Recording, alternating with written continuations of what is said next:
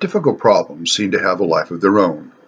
Hard as we may try, we work through them, but the next thing we know, they're back in the forefront of our consciousness, dominating our thoughts.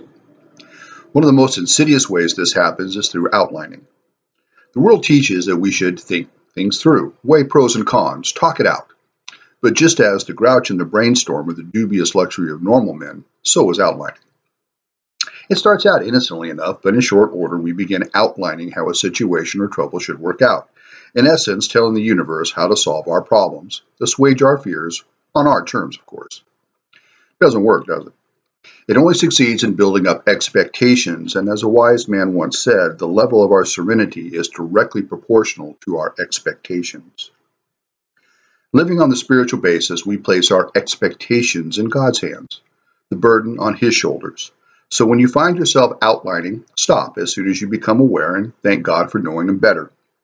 Quiet the mind by repeating some simple set prayers like, Be still and know that I am God, or There is no power greater than God, or simply, God is with me, are some of the ones I employ. When I ran the world, I outlined constantly, for it needed my help.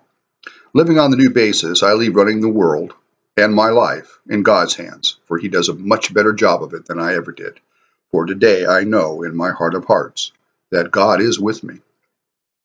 My name is Vincent Lee Jones. You can find my videos on YouTube and Facebook at Vincent Lee Jones, and also my writings at Blogspot, titled The Page Living in Spirit, and videos as well on Facebook at the James Club. Have a blessed day.